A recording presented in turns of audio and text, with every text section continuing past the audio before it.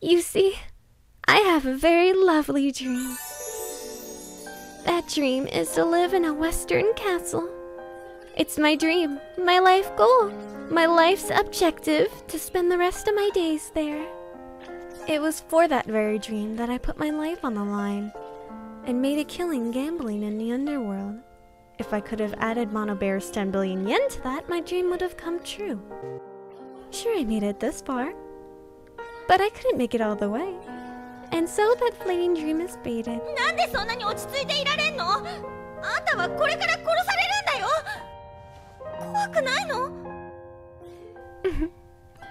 I'm actually rather proud of my ability to tell lies.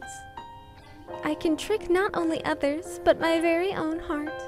If I were to be reborn, I'm sure it'd be as Marie Antoinette. そしたらまた処刑だけどな